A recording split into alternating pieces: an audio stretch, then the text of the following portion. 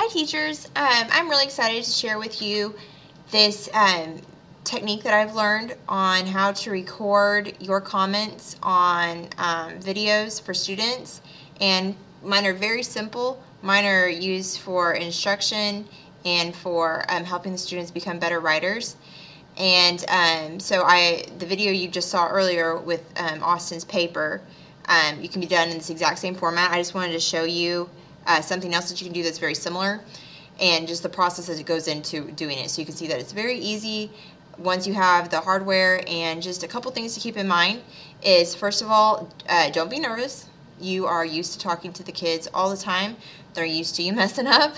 They're used to you making jokes that fall flat on their face. And, um, you know, they know you're human. So if you make mistakes while recording, just move on. Unless it's like a horrible, horrible mistake, then just keep going. So uh, basically what you want to do is you want to open up your Smart Notebook. And you do that by going to Smart Notebook on your start screen. Click it. I've already done that. And up here at the top, you have what's called Smart Recorder. Once you click that, this little icon will pop up down here. Now you have options. Um, whatever, so this is up, and once you hit record, whatever is up on the screen that you can visually see is going to be recorded. So, with that said, what you want to do is you want to go to your um, email address, close it, because um, it keeps that little pop-up thingy from coming up while you record. And then you want to just select what it is that you want to talk to the students about. So since you've already seen me critique a paper, I thought it would be uh, better for us to look at me recording the kids, uh, just a, just a basic um, instructional video. So I'm going to pull up this this document on loose versus periodic sentence. This is a grammar technique that we have already gone over. So once I'm ready, I kind of sit here, I prepare my thoughts, and I'm ready to go. Now, you got options. You can record the desktop, which we don't want to do. You can record an area, or you can record the whole window. Um, the window is going to include everything that's down here, whereas the area, you can select what you're going to record. So I like to select. So I just want to record this stuff. I don't want them to have to look at the toolbar at the bottom. So, okay, so once I've selected it, as soon as I lift my finger off of the mouse, it's going to start recording, and you have to be pretty much ready to go. Alright, so see how the, the counter has already begun? So now I would just continue on talking about it. Okay kids, today we're looking at loose versus periodic sentence. Okay, so we talk about why I would use them, gives you variation, readers like this, it changes up your sentence structure. So here's an example. A loose sentence has independent clause at the first and the dependent clause at the end. Here's the example. Isn't the little baby cute? I could see the anticipation in young child eyes as he tore open his present. So you have the you have the independent clause here at the beginning. We know this is an independent clause because it can stand by itself. I could put a period here and it still makes sense. We know it's a dependent clause because as he tore open his present doesn't make sense by itself, but we do have it is a it is a clause because it has a subject and a, er, has a subject and a verb. Okay, and I would just go on and I would do the same thing with periodic sentence go through and show them the examples, so on and so forth. You'll get the idea. So once I'm done, then I go ahead and click the stop button. Um, just so you know, anytime throughout your video, if you needed to hit the pause button, as in you were flustered or somebody came in or the phone rang or whatever, you can hit the pause button. But once you hit the stop button, your video is done.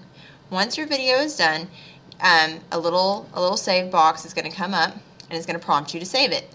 Uh, you can save it anywhere. I would highly recommend you saving to the um, to a, a, USB drive because these videos are very dense and so they take up a lot of space on your H drive. And I don't know about your school, but at our school we don't have a whole lot of H drive space, so it seems. And so, um, so I try to reserve that for stuff that I'm using all the time and keeping the videos on a USB drive so we don't take up any unnecessary space. So once I've done that, give it a name. We'll say loose practice. Say save. Okay, then you'll notice a little progress bar, bar at the bottom. It's going to go through and it's going to save it. The longer your video is, the longer it takes to save. And then, of course, the shorter it is, the more quickly it'll be ready for you to, um, to play. So this one's pretty short, so it shouldn't take long. Yay, it's done. Okay, so you've got options. Um, I always click play recording and listen to it to make sure that it did actually pick up on my voice and on the video at the same time for um, time purposes here, we're not going to do that. I'm going to say OK. And now it's done. Now, I've got choices. It is saved, and that is good. And so I'm going to want to put it in a place where my, where my students can access it. So I'm going to put it on my website. So, uh, so you log into your website like you always do. And since this is a, a writing assignment, I'm going to put it underneath the, um, I'm going to put this under the, our writing, this is called our writing workshop. So here, you're just going to create assignment like you always would. So I would say loose sentences. Okay, then we go into the directions. And this is where you actually get to attach it. So you say, just like you would any other document, you go through.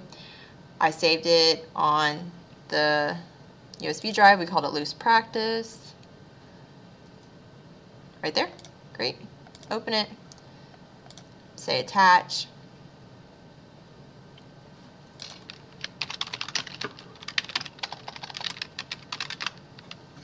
I always put it in a blank.